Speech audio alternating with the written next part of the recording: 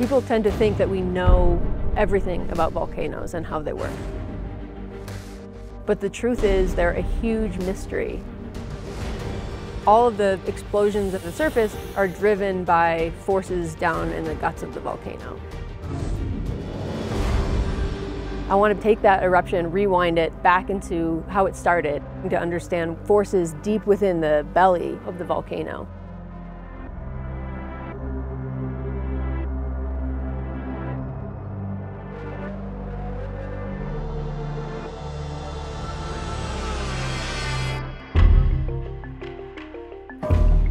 Each of these rocks is telling us one story of one explosion, and the geochemical clues left inside of these rocks helps us understand what the volcano is capable of and then what it might do in the future. My name is Dr. Kayla Iacovino, and I'm an experimental petrologist and volcanologist at Jacobs and NASA Johnson Space Center. An experimental petrologist rewinds the Earth's processes to understand how the Earth makes rocks. Geologists are storytellers. That's our job, learning how to use the tools that we've developed in order to tell the stories. We try to tell the story of the Earth, or the story of the planets. I grew up in Arizona where the geology is fabulous. You can go anywhere in the state and see textbook examples of any kind of geology that you want. I also grew up watching Star Trek with my dad, with my mom. They were big The Next Generation fans. As I got older, I really realized what amazing stories the universe of Star Trek tells. Here's myself and some of my friends at the Star Trek convention in Las Vegas. They have people in character walking around in costume. It was awesome. I'm a huge Star Trek fan. That idea of exploration not only as a frontier, but as exploration of human nature itself was really appealing to me. I've never seen anything so wondrous. When I got into the science program at Arizona State, I realized I wanted to be able to physically explore these new places on our planet that are completely foreign and otherworldly. I've traveled to the southernmost active volcano in the world, uh, Erebus volcano in Antarctica, a volcano called Mount Paektu, which is on the border between China and North Korea, Central Africa, where um, there's a volcano called Nyiragongo, which hosts the world's largest lava lake.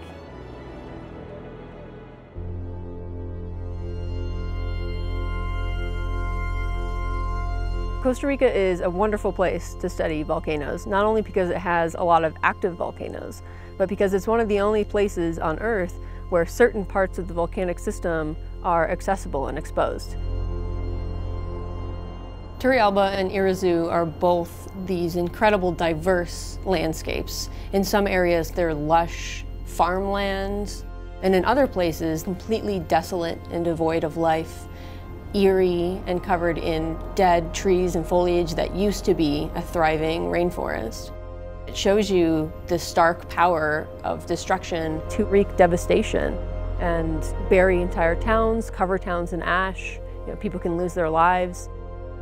I realize that I'm privileged to come into these areas and do something as esoteric as take a rock back to a lab and, and, measure what chemicals are in it, when these are the people who are living with the outcomes of what the volcano is doing day to day. We're here in Costa Rica to collect rocks that can tell us the story of these volcanoes, what they're doing right now and what they've done in the past. My particular focus is on what we call volatile elements.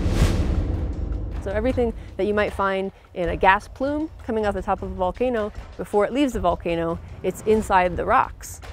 And these are things that turn into gas when they reach the surface.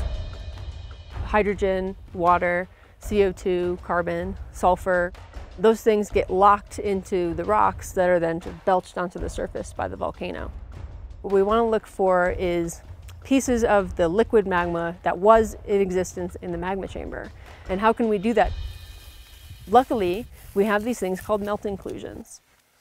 A melt inclusion is a little blob of what was once liquid magma trapped inside of a crystal. So you could think of a melt inclusion like a time capsule or like a message in a bottle or even an insect trapped in amber. It's this thing that was there for a moment that's now encapsulated and preserved for us to study later. We need to find a sample that cooled very, very quickly once it erupted. Ash that has loose crystals inside of it, that's the best stuff you want for melt inclusions. We usually try to take samples from different parts of the volcano so we're getting different pictures of the story.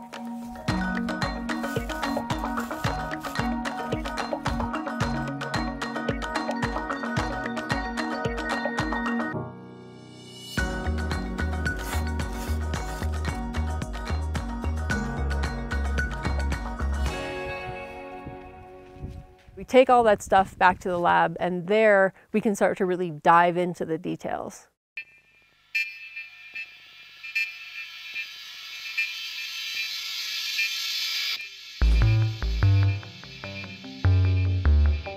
These are some of the rocks we collected in the field in Costa Rica. And that becomes starting material for our experiments. We load it into a very small capsule and now it's ready to become a miniature magma chamber in our lab.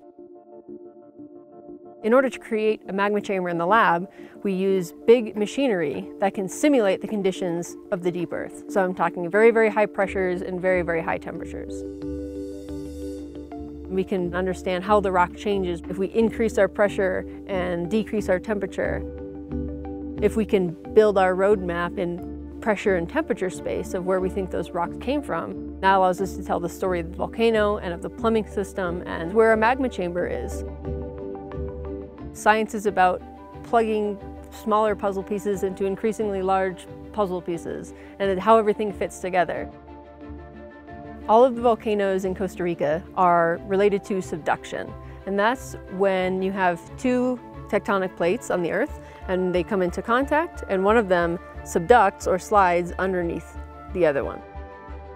We want to understand how carbon is moving through our ecosystem. We were able to discover that a tremendous amount of carbon gets stored not just within the volcanoes, but actually within this chunk of crust and within microbial communities that sits right above the subducting plate. This has huge implications for the existence and the proliferation of life on planets. Are there organisms that are living off of the carbon that's coming up in these systems? If we want to say which planets do we want to target for life, maybe we should look for a planet that has active subduction. The majority of my career has been in studying the Earth. And now I work for Jacobs and NASA Johnson Space Center, where I'm studying how all of these processes work on other planets. Planetary geology, as it's called, is really pushing the limits of what we know how to do as geologists. When I want to say something about a volcano on Mars or Venus or Mercury or even a planet outside of our solar system, it's not as easy as just going there and picking up a sample. In most cases, we don't have a physical rock. Instead, we might have sent a satellite to another planet and it's taken a picture of the surface and we can look at that picture and try to estimate what we think the chemistry of the surface is.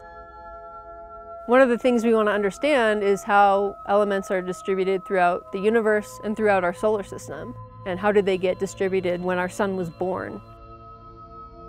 So applying all these skills to other planets is fun and challenging because it really makes you push the boundaries of what you think you can do. When I pick up a rock in the field, I get really excited because I know that that rock has a tremendous number of stories to tell. Traveled maybe millions of miles and millions of years to get to where it is today, where I'm picking it up. And it's sort of like the geologist in that moment, you become a part of that rock story. You get to unlock this vast history of this rock with the tools that we have available. And I think a lot of that spirit of exploration came from watching television shows like Star Trek. Keeping those things alive in the spirit of my work is what really fuels it for me.